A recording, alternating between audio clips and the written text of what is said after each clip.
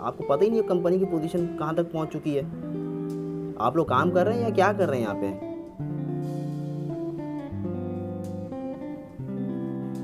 कमाल साहब, आप समझ सकते हैं यार मेरी पोजीशन कहाँ से कहाँ तक पहुँच गई है। कुछ आइडिया दें, कंपनी में हम क्या कर रहे हैं, हमें कुछ पता नहीं चल रहा है। दिन ब दिन लॉस पे लॉस लॉस पे लॉस आखिर ऐसे ही चलता रहा तो एक दिन हमें कंपनी बंद करनी पड़ जाएगी। आप कुछ आइडिया दें, हमें क्या करना चाहिए?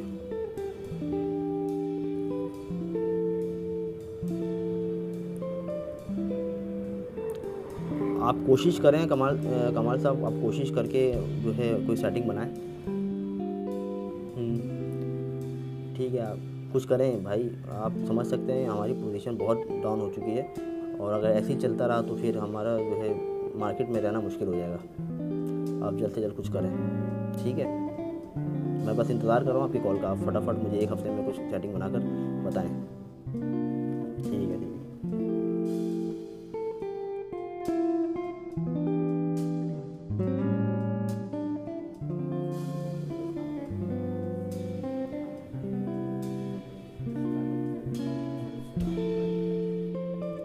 ठीक है रज़ा साहब, आप एक काम करें। जितनी भी कंपनियाँ हमारे साथ इश्तरा करना चाहते हैं, उनका एक लिस्ट बनाएँ और वो लिस्ट मुझे शाम तक ला कर दे दें, ताकि मैं उनमें से किसी एक को सिलेक्ट करूँ और अगले हफ़्ते तक हमारा मीटिंग भी उनके साथ रखें। ठीक है रज़ा साहब? Okay okay.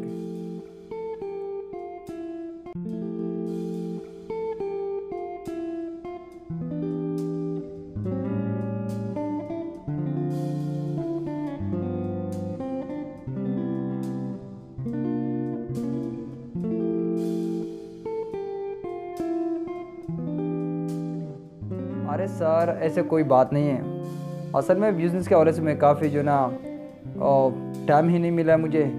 और जैसे सर मुझे टाइम मिलेगा सर आपके पास मैं आऊँगा।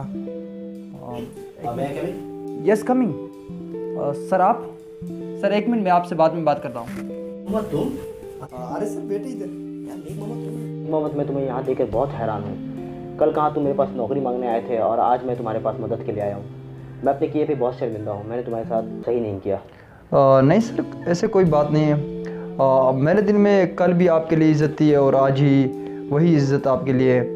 आ, सर अगर देखा जाए मेरे कामयाबी के पीछे सारा ही याद आपका है। और जिस दिन आपने मुझे नौकरी से मना किया उस दिन मैंने अपने दिल में एक इरादा किया कि मैंने कुछ करना है और आगे बढ़ना है। तो उस उसी दौरान मेरी मुलाकात एक दोस्त के साथ हुई।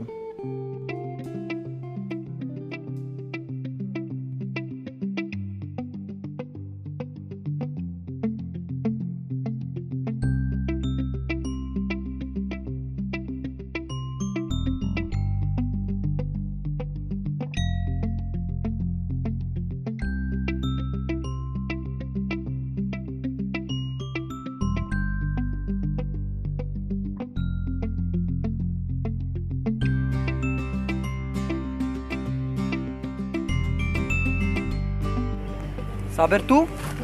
देख मोहम्मद तू? तुम यहाँ क्या कर रहे हो? तुम तो अमेरिका में थे। यार पाकिस्तान तो मेरा अक्सर चक्कर लगता रहता है। और तुझे पता है बिज़नेस मेरा इतना बढ़ गया कि हर माह मुझे जो है ना इधर आना पड़ता है पाकिस्तान आना पड़ता है। और मैं काम के चक्कर में इतना मसरूफ़ हो गया कि मुझे अपने लिए भी टाइम नहीं मिलता है। और तू सुना क्या कर रहा है? बस मैं नौकरी की तलाश में काफ़ी परेशान हूँ। और मैंने मैकेनिकल भी किया हुआ। और मुझे बिज़नेस के हवाले से काफ़ी नॉलेज है। लेकिन मुझे अब तक कोई नौकरी नहीं मिला है। अच्छा और काफ़ी जगह मैंने अप्लाई भी कर चुका हूँ। अच्छा। लेकिन मैं इसी हवाले से बहुत परेशान हूँ। चलो खैर है यार और सुना शादी वादी कर लिया तूने? नहीं यार मैं तो जॉब की वजह से काफ़ी परेशान हूँ और शादी की बातें कर रहा है। और, तू सुना तुम्हारा क्या बना फैज़ा के साथ शादी हो गई? नहीं यार हमारी दोस्ती कॉलेज तक महदूद थी। उसके बाद मैं अमेरिका चले गया पढ़ने के लिए। फिर मैं वहाँ से आया। तो बिज़नेस में इतना मसरूफ़ हो गया कि किसी को किसी को जो है कांटेक्ट करने का टाइम ही नहीं मिला। छोड़ यार। यार मैं एक बात सोच रहा हूँ। हाँ बोल क्या बात यार तू भी जॉब के लिए परेशान है और मैं भी इतने बड़े बिज़नेस को नहीं संभाल पा रहा हूँ। तो तू मेरे साथ मिल के काम कर। हाँ यार मैं भी नौकरी के लिए काफ़ी परेशान हूँ। अगर तू मुझे नौकरी देगा तो मैं तेरा किसान बन जाऊँगा। नहीं यार ये तो मेरी खुश नसीबी होगी जो मेरा जिगरी दोस्त मेरे साथ काम करेगा। आ, ये ले मेरा कार्ड कल नौ बजे ऑफ़िस आ जाना।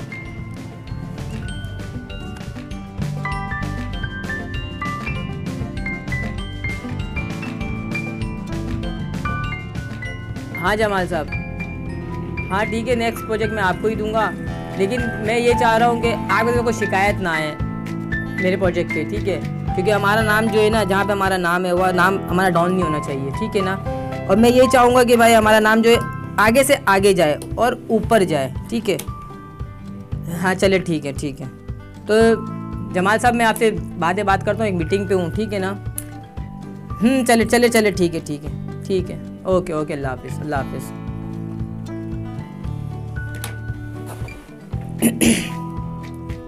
हाँ नेक मोहम्मद। क्या रिज़ल्ट है हमारे प्रोजेक्ट का? हाँ जी सर हमारा जो प्रोजेक्ट है बहुत ही ज़बरदस्त चल रहा है। और मैं चाहता हूँ कि हम मज़ीद और प्रोजेक्ट पे भी काम करें। और मैंने सारे तैयारी बना के रखी है। और सिर्फ़ आपकी अप्रूवल की ज़रूरत है सर कोई मुझे इशू नहीं है।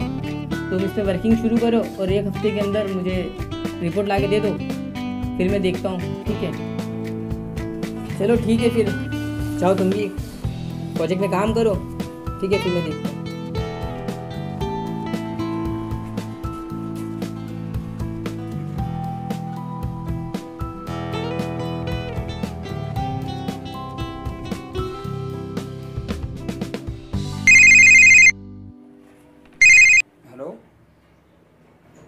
क्या?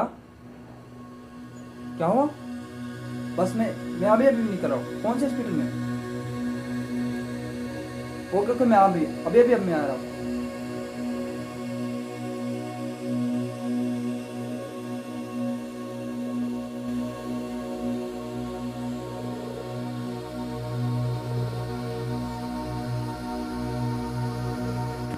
नईक मोहम्मद साहब, मैं सेठ साबिर का वकील सर, सेठ साबिर ने आखिरी वक्तों में कुछ डॉक्यूमेंट्स तैयार करवाए थे। अब वक्त आ गया कि मैं ये डॉक्यूमेंट्स आपके हवाले कर दूँ। इनकी वसीयत के मुताबिक इन तमाम तर कंपनी के मालिक आप होंगे। इन्होंने अपनी तमाम जायदाद भी आपके नाम कर दी है। तो आज से इस साबिर कंपनी के नए मालिक आप हैं। शुक्रिया, सर।